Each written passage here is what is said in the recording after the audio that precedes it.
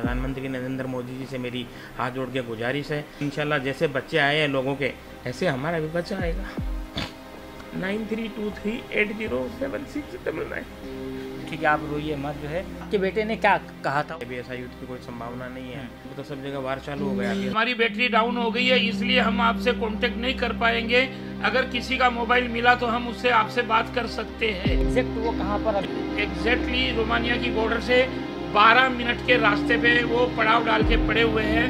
ना कोई कैंप है, ना कोई शिविर है, ना कोई होटल है, ना कोई खाना है, ना वहाँ पानी की सुविधा है। मैं हूँ फिरोज हाशमी, आप देख रहे प्रहार टाइम्स। इस वक्त मैं एक ऐसे परिवार के पास बैठा हूँ जो पिछले कई दिनों से पीड़ित है, कई दिनों से जो है सोए नहीं हैं, कई दिनों से जो है वो जो है लगातार चिंता में बने हुए हैं और जब उन दरअसल क्यों चिंता में बने हुए हैं? क्योंकि इनका बेटा, इनका एक लाडला बेटा, जो यूक्रेन में फंसा हुआ है, युद्ध का जो मामला वहाँ पे सिलसिला जो जारी है, उस दौरान इनका जो बेटा है, वो वहाँ पर पढ़ाई करने के लिए गया हुआ था। वो अभी फ़िलहाल जो है, वहीं फंसा हुआ है, जिसका कोई जो है, अब तो ऐसा हो गया, पहले कुछ तो ये परिवार से बातचीत भी हो रही थी, लेकिन अब जो है, बातचीत का सिलसिला भी कहीं ना कहीं थम गया है, क्योंकि मोबाइल का प्रॉब्लम वहाँ पर है चार्जिंग का प्रॉब्लम है, जिस तरह से ये परिवार बता रहे हैं, किस तरह से ये परिवार आज दुख में डूबा हुआ है,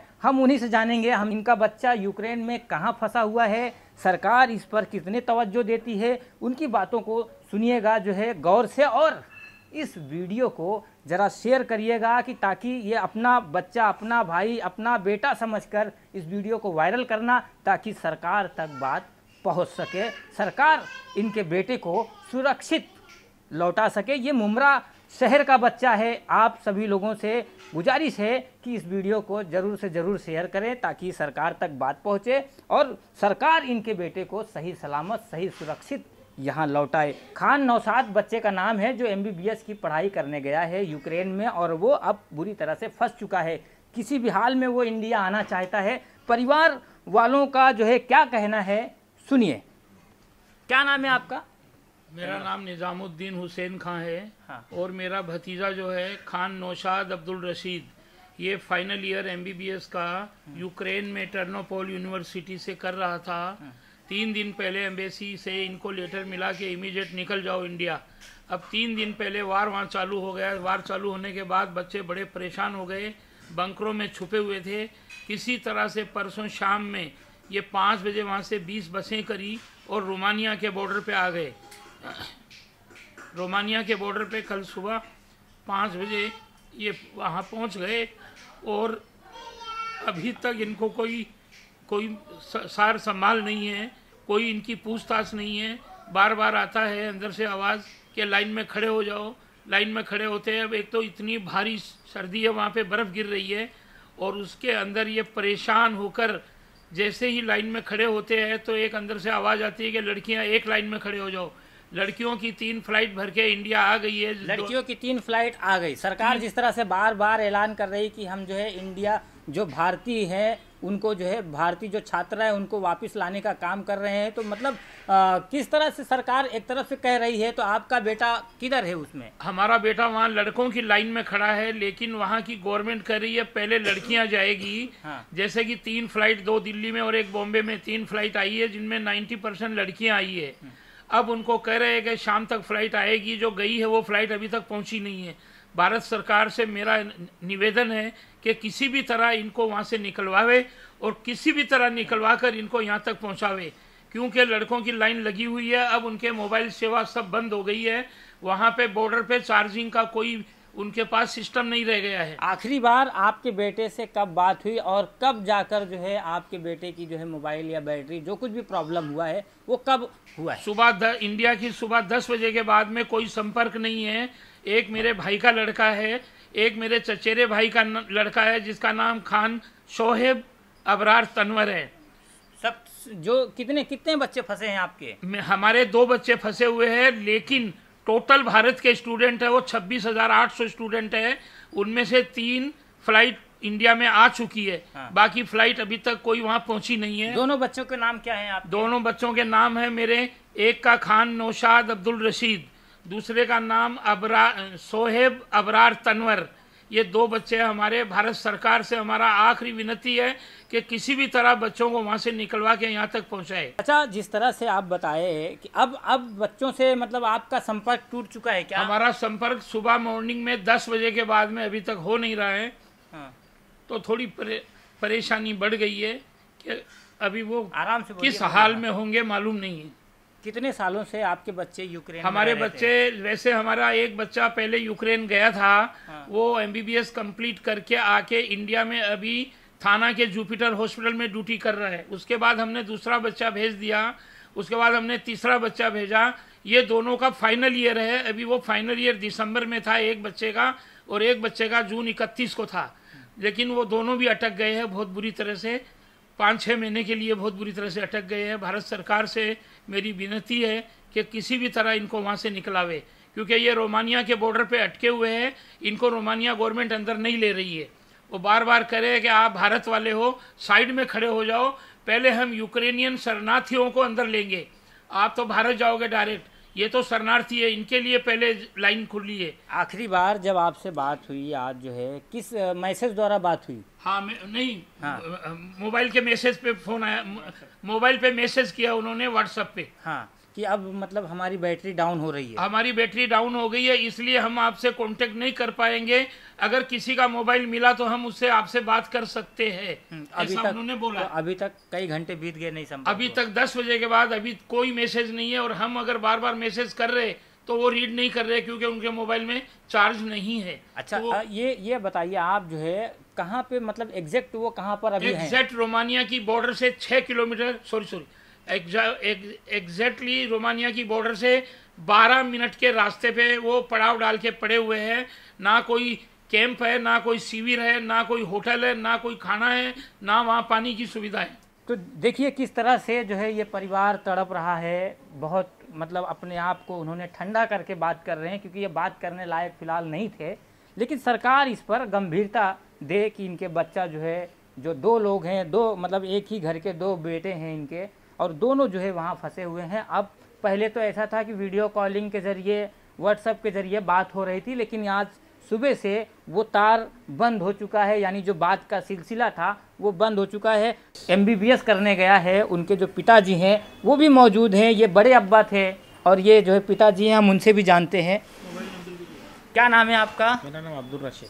अब्दुल रशीद भाई जो है आखिरी बार कब बात हुई आपके बेटे से? साथ में रहते हैं हमारी फैमिली तो अच्छा। साथ में हमारी बात हुई अच्छा। तो क्या कहा उन्होंने? क्या किस तरह की अपील की? नहीं उन्होंने कहा अब्बा अभी बड़े परेशान है बोला एक्चुअल में इधर हाँ। फैसिलिटी भी नहीं है। और बोला फिर उससे भी अपने को कोई फ़र्क नहीं पड़ता है। लेकिन बोला हम लोग परसों रात को दस बजे आए थे। हम्म। तो बोला जब से अभी तक हमको बोल रहे कि वेट करो वेट करो वेट करो। तो बोला अभी कल जो फ़्लाइट निकली बोला उसमें सब लड़कियाँ थी उनको सबको लेके गए। और बोला अभी आपका जो है बाद में नंबर आएगा। तो बोला अभी सुबह में फिर मैसेज आया कि आप वेट करो अभी तक फ़्लाइट ही नहीं आया एयरपोर्ट पे तो आपको एयरपोर्ट पे लेके जाके क्या करेंगे? हम्म, तो मैं बोला अभी बेटा मैं क्या कर सकता हूँ? तो कहा अभी हम लोग बड़े परेशान है क्योंकि ठंड भी बहुत ज़्यादा है। हम्म, और बोला रहने की भी कोई व्यवस्था नहीं है यहाँ पे। और खाने पीने का तो बोला अपने को कोई फ़र्क नहीं पड़ता है कि चल जाता है वैसे क्योंकि बॉर्डर पे पड़े हैं तो बोला यहाँ पे तो कुछ होटल वगैरह भी नहीं है। तो इसलिए जो मिलता है वो ठीक है नहीं मिलता तो बोला कोई बात नहीं है। लेकिन कोई फैसिलिटी नहीं है कोई आदमी जवाबदारी लेने को तैयार नहीं है। जब आप लोगों से वीडियो कॉलिंग पर बात हो रही थी पिछले दिनों तो आपके बेटे ने क्या कहा था? वो ज़रा सारी चीज़ें बताइए। बोला हम लोग एक्चुअल में आना चाह रहे थे पहले तो कहा कि अभी आपको अप्रैल तक पढ़ना है अप्रैल के बाद में देखेंगे अभी ऐसा युद्ध की कोई संभावना नहीं है। और फिर अचानक में फिर भी हमने बोला कि टिकट बना देते हैं आपकी। तो बोले नहीं अभी टिकट मत बनाओ क्योंकि यूनिवर्सिटी बोल रही है कि जाओगे तो आपके रिस्क पे जाओगे। हम्म। आपको कॉलेज अटेंड करना है। तो बोला आप अप्रैल एंड में देखेंगे कि आपको क्या करना है। और अचानक में आपके सामने ये प्रॉब्लम आ गई। तो फिर बच्चे भी क्या करेंगे? फिर उन्होंने कहा कि सर यूनिवर्सिटी में जाके डीन से बात किया तो डीन ने कहा कि आपको कोई प्रॉब्लम नहीं है आप रहो यहाँ पे। तो बोला सर अभी तो सब जगह वार चालू हो गया अभी हम क्या करेंगे? तो बोला आप बैंकर में चले जाओ। तो फिर हमको बैंकर में डाल दिया बोला हम लोग छः दिन बैंकर में रहे। फिर हमको इंडियन अपना जो एम्बेसी है उससे हमको नोटिस आया कि आपको अपने हिसाब से ये लेटर पे आपको जाना है। तो बोला फिर हम लोग ने पूरी जो स्टूडेंट थे उन्होंने सबने हमने वैसे जब मिल के मंगाई। फिर हम लोग जो है हमको बोला कि पोलैंड के बॉर्डर पे जाना है आपको। लेकिन फिर आधे रास्ते में जाने के बाद में हमको कहा गया नहीं पोलैंड पे जगह नहीं है आपको रोमानिया बॉर्डर पे जाना है। तो बोला इसलिए हम लोग रोमानिया में आ गए अभी। लेकिन अभी परसों आए थे सुबह जो साढ़े दस बजे की बात आज की। तो बोला अभी तक तो कुछ है नहीं अब अभी तो अभी हम लोग इधर ही बढ़े बॉर्डर पे। बोला बोला पब्लिक बोला पब्लिक बहुत है बेहिसाब पब्लिक है। तो बोला आप लोग स्टूडेंट कितने होंगे? तो बोला अभी हम लोग जो हमारी यूनिवर्सिटी है उसमें भी फोर हंड्रेड के ऊपर अभी है हम लोग। जो चले गए वो चले गए। बाकी अभी स्टूडेंट स्टूडेंट हम लोग फोर हंड्रेड है यहाँ एक पे। यूनिवर्सिटी एक यूनिवर्सिटी के। ऐसे तो आप कितनी यूनिवर्सिटी है वहाँ पे बहुत है। तो बोला बच्चे बहुत है स्टूडेंट यहाँ पे। लेकिन हमारे इंडिया के कितने होंगे वहाँ पे? अपनी इंडिया के बहुत है। बोला बीस हज़ार के ऊपर है अच्छा। यहाँ पे बच्चे जो। अभी तो तीन ही फ़्लाइट आई अभी है। तो तीन ही फ़्लाइट आई है। हाँ। तो बोले अभी जो साढ़े दस पे बता रहा था कि अभी जो अनाउंस हुआ था उसमें हुआ था कि आपकी इंडिया से अभी तक फ़्लाइट ही नहीं आया रिटर्न तो आपको हम लोग कैसे भेजेंगे? वो बोलता है ना two hundred forty eight two twenty की फ़्लाइट है पैसेंजर की तो आप लोग इतने पैसेंजर तो हम लोग एयरपोर्ट पे लाके जाके कहाँ बिठाएँगे आपको? तो इसलिए आपको यहीं वेट करना है। अब उसमें टाइम कितना लगेगा बोला वो हम नहीं बता सकते। ये साढ़े दस बजे के बाद तो अभी तक उससे बात नहीं हो पाई क्योंकि नेट ख़त्म हो गया उसका। तो बोला मैं जैसे कोई चांस मिलेगा या कोई फ्रेंड अगर कोई ऐसा आएगा तो उसके मोबाइल से अगर चांस मिला तो मैं आपसे बात करूँगा। लेकिन अभी तक फ़िलहाल तो अभी तक फ़ोन नहीं आया और मैसेज भी नहीं आया एम बी बी एस कर रहा फाइनल ईयर में अभी। है अक्टूबर एंड था इसका। लेकिन बोला कि अभी आपको अप्रैल के पहले तो आप जा ही नहीं सकते अप्रैल तक आप अटेंड कीजिए। अप्रैल में देखेंगे हम डिसीज़न देंगे क्या करने का। और अचानक में ऐसा वार हो गया। क्या नाम है बेटे का? खान नौशाद अब्दुल रशीद। खान नौशाद अब्दुल रशीद। और दूसरा बेटा? अब इसका नाम है शोएब अबरार तनवर। अच्छा। ये ये ये बेटा और जो पहला दिखा है वो दो। दोनों। दोनों। दोनों यहीं रहते हैं हमारे पास। दोनों एम फाइनल ईयर में। अच्छा। टर्नोपोल मेडिकल स्टेट यूनिवर्सिटी जिस तरह से अब सरकार से आप क्या उम्मीद लगा रहे हैं? सरकार को किस तरह से आप जो है गुहार लगा रहे हैं?